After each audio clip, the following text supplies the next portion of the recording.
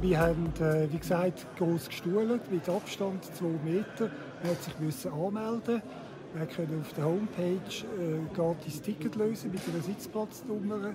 Leute, die das nicht haben können, haben sich können telefonisch melden oder auch persönlich vorbeigehen.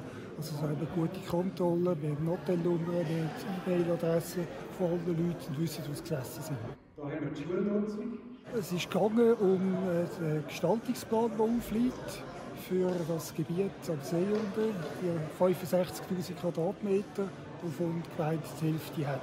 Wir haben die gesamten Planungskosten und die gesamten Risiken bis jetzt miteinander getragen, Kanton und Gemeinde. Ich gehe mit einem guten, mit einem sehr guten Gefühl sogar heim.